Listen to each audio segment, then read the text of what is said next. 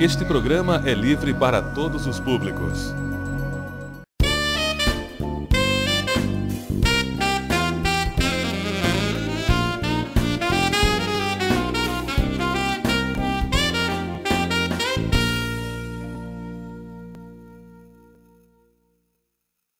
É isso aí, mais Universidade chegando aqui pela sua TV Itararé. Seu encontro diário com a cultura e a diversão aqui da região. A gente começa o programa de hoje com uma boa dose de humor. Visitamos os bastidores da comédia As Coroas, da Companhia Paraibana de Comédia de João Pessoa, que esteve em Campina Grande em curta temporada no Teatro Municipal. Com vocês, todo o bom humor da Companhia Paraibana de Comédia nas personagens Maria da Luz, Maria das Dores, Maria da Paz e a mãe delas, Dona Socorro. Confiram.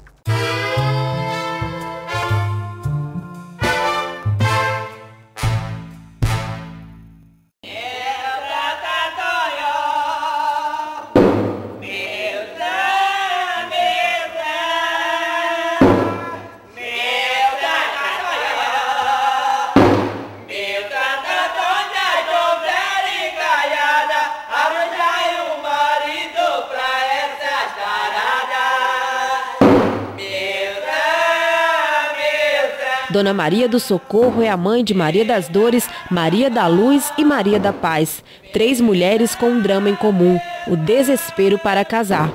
E para chegarem ao altar, elas estão dispostas a tudo, inclusive enlouquecer o santo casamenteiro. Porque casar a gente não vai conseguir nem tão cedo. Não com a mamãe botando terra. Botando terra em quem, mãe?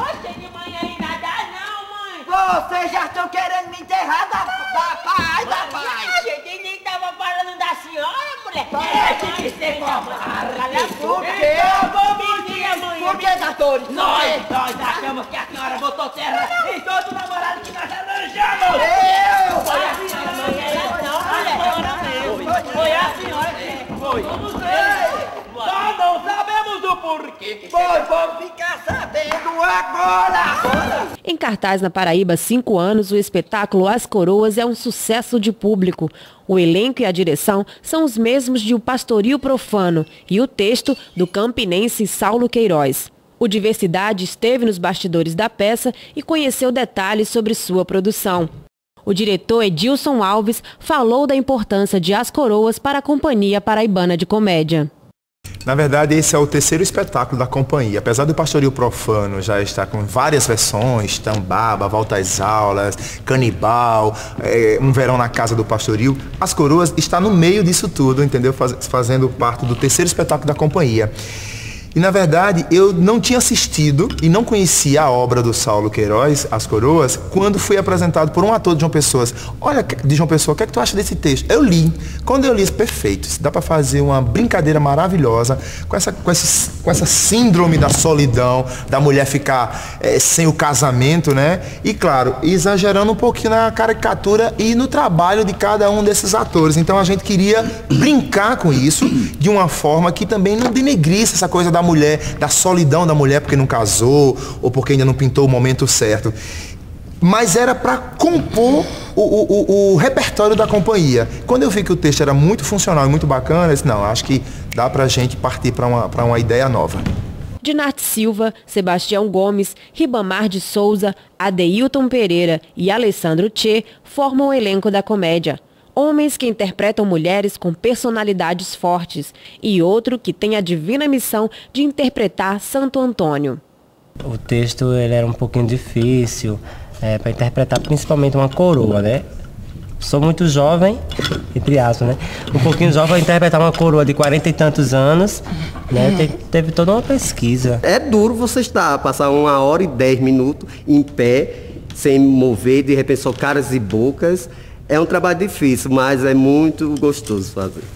O meu desafio foi muito maior do que todos eles, porque na verdade eu, eh, quando a gente começou o processo de leitura, eu fiz parte do processo de leitura, puxaram da companhia, eh, eu não tinha ficado no elenco, porque tinha outros trabalhos e eh, eu tinha ficado como stand-by do, do elenco, né?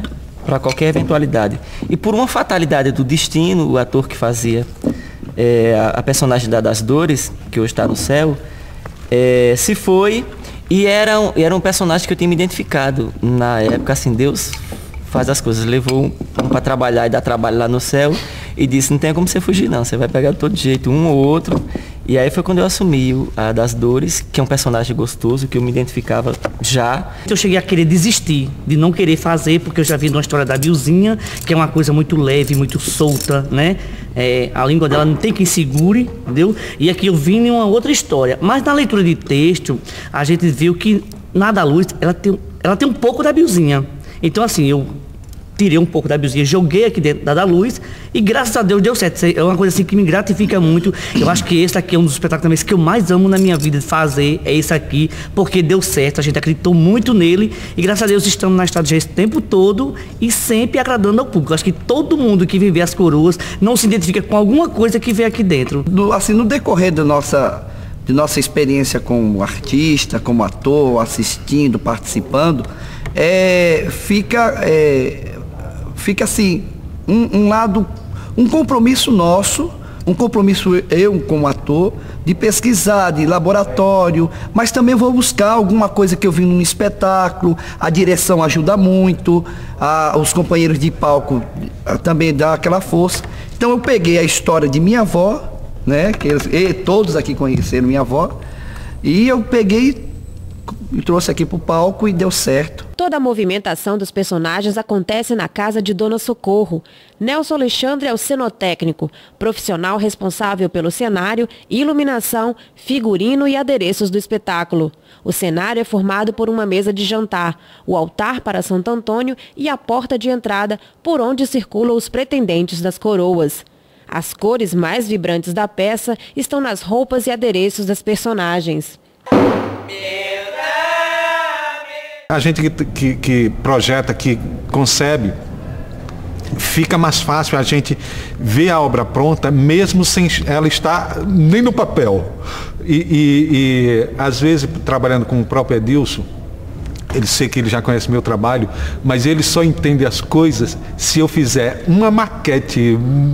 Como eu gosto de trabalhar muito com maquete, é, é, é eu concebo, tem alguns cenários que eu concebo através de maquetes. O, o desenho é normal, mas às vezes para convencer mais ainda e, e para que ele entenda melhor as coisas, a gente sempre faz tipo uma boneca, alguma coisa pequena. Às vezes, às vezes eu, eu fico me perguntando de onde é que sai tantas coisas assim. Agradeço lá de cima os anjos da guarda que me, me, me dão uma luz no final do túnel. Um, e, e, e termina saindo essas coisas aqui. Porque o material aqui, quando você olha, se está lá fora, pensa que isso tudo é madeira, mas na verdade não é. Aqui é tecido, tecido com estrutura de metal, de metal. Aqui já é o papelão revestido com tecido. Isso aqui é jornal amassado, onde a gente vem com a questão da pintura e da as nuances de, de, de tons claros, escuros. Essa parte aqui passa a ser uma estrutura da própria é, é, é, base do cenário, onde tudo isso que vocês estão vendo aqui, menos as cadeiras e as mesas e a cadeira de balanço e essa parte, todas essas partes do cenário aqui, tudo dá aqui dentro. Após o sucesso de As Coroas, a Companhia Paraibana de Comédia se prepara para gravar em Campina Grande o novo DVD do espetáculo O Pastoril Profano. Estão todos campinenses, estão todos convidados em agosto, no segundo final de semana de agosto, 7, 8, 9, não é isso, Hugo Pires? 8, 9, 10, 8, 9, 8, 9 10, em participar pela primeira vez da gravação do DVD do Pastoril fora de João Pessoa. Campina Grande foi a escolhida, então agenda aí. Ó. Segundo final de semana de agosto, gravação do DVD do Pastoril Profano, o Beabá continua. O Beabá continua.